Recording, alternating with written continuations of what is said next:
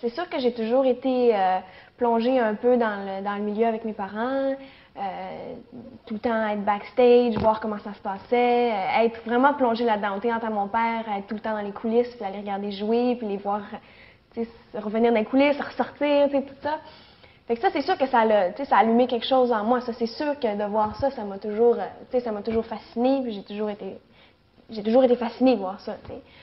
Mais, mais je pense que c'est ça, vers 10, 10, 11 ans, le goût a vraiment commencé à, j'ai vraiment commencé à vouloir peut-être essayer moi aussi de, d'être, d'être comédienne, de, de faire comme, comme ma mère, de faire comme mon père, qu'est-ce qu'il faisait à la télé, tout ça. Donc, euh, il n'y a pas de raison, c'est comme ça, c'est naturel, c'est, ça que je veux faire, puis euh, c'est ça que j'aime, puis c'est ce qui me passionne, puis c'est ce que, ce que je veux faire.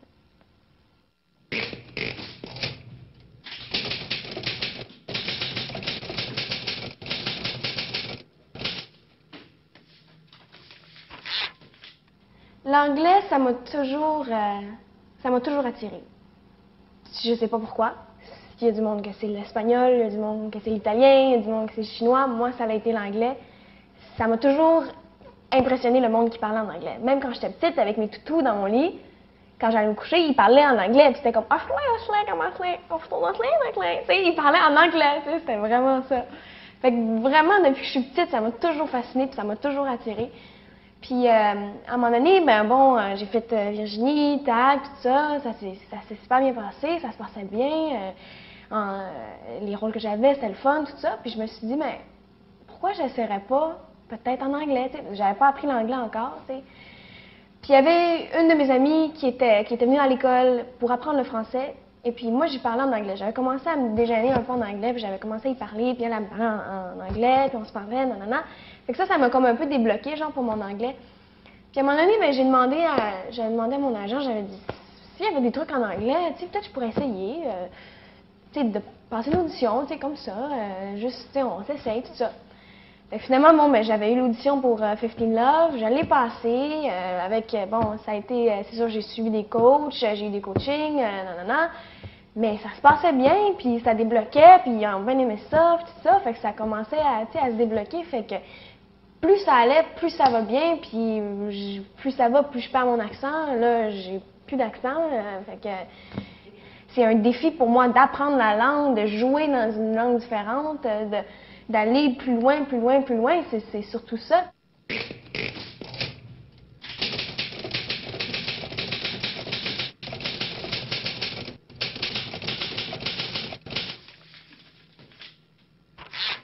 Ben, il y a une couple de personnes, tu sais, il y a- j'ai j'ai pas... euh, il y a beaucoup de monde qui ont changé beaucoup de choses dans ma vie. Il y a beaucoup de monde qui font encore une différence toujours. Puis plus ça va aller, plus il y a du monde qui vont faire une différence dans ma vie, tu sais. Puis, euh, c'est sûr qu'il y a mes parents, ça c'est clair. Euh, ça c'est sûr. Ma mère, euh, c'est sûr.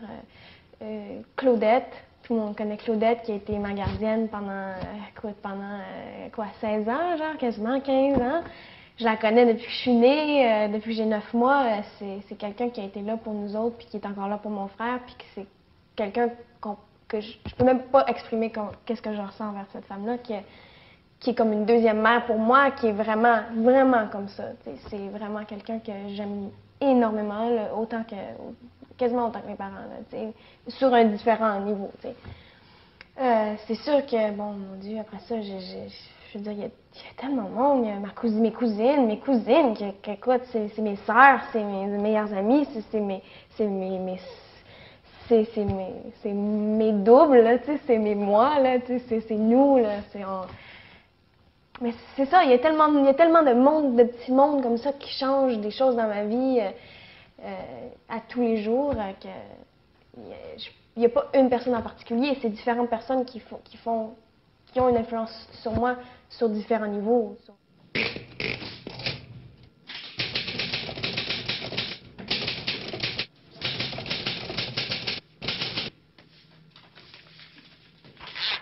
Les États-Unis, ça m'attire pas plus que ça. Moi, ce qui m'attire, c'est le cinéma, c'est de faire, c'est d'être une actrice, c'est d'être, de faire ce que j'aime, puis d'avoir de- de- des plus gros défis. Puis, euh, veux, veux pas, oui, les Américains, ils en font des, des films qui sont pourris, puis ils en font de, la, de la merde. Mais je veux dire aussi, ils en font des, des films à couper le souffle, puis complètement hallucinants. Puis ils ont l'argent pour le faire aussi, donc c'est sûr qu'ils ont plus de possibilités. Mais je veux dire, c'est fascinant pour moi, ça me fascine. Je, je pense même pas à combien de temps va falloir que peut-être que je reste là-bas ou combien de temps ça va me prendre avant peut-être d'arriver à faire un, une émission. Tu sais, si tu commences à penser à ça, si je commence à penser à ça maintenant, je, je vais rester ici. Je veux dire, je peux pas, c'est trop gros. Il y, a, beaucoup de monde, mais je, je veux même pas le savoir. Là, tu sais, je, fais ce que j'ai à faire, je fais ce que je veux faire, je plonge, j'y vais, mais je, je pense pas à, à tout ce qui pourrait. Tu sais, il va en avoir des trucs qui vont arriver en avant de moi, mais je vais les prendre à mesure qu'ils vont arriver. Tu sais. Donc, euh, puis je me mets pas trop de pression non plus. Là, ça arrivera si ça allait arriver. Si ça arrive pas, mais ben, écoute, je reviens ici, puis c'est correct. Là.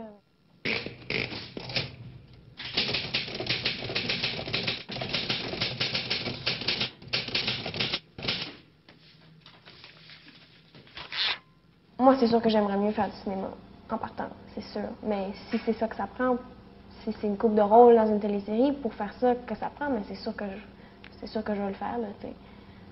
L'ultime but, c'est de faire du cinéma, mais je vais faire euh, ce que je peux avant pour y arriver. Si c'est ça que ça prend, je vais le faire.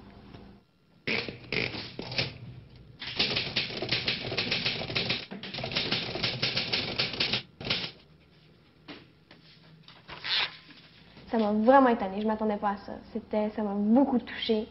Euh, il parle tellement bien, il s'exprime tellement bien. C'est vraiment un artiste sur scène. C'est, c'est vraiment, c'est quelque chose à voir quand même. Quelqu'un qui est aussi à l'aise que lui là, sur une scène, puis qui est capable de, puis toujours allumé, toujours plein de passion. C'est, c'est, c'est le titre de sa conférence, la passion. Puis c'est ça que tu retiens en partant. C'est ça, là, c'est la passion lui, c'est la passion pour le théâtre, c'est la passion pour la télé, c'est la passion pour tout ça, pour la nature, pour tout ça, mais c'est la passion de n'importe qui d'autre. N'importe qui, moi, ma passion, c'est d'être médecin, c'est ça, tu sais. mais le fait, la façon dont il l'exprime et dont il en parle est vraiment marquante. Moi, c'est ce qui m'a marqué le plus.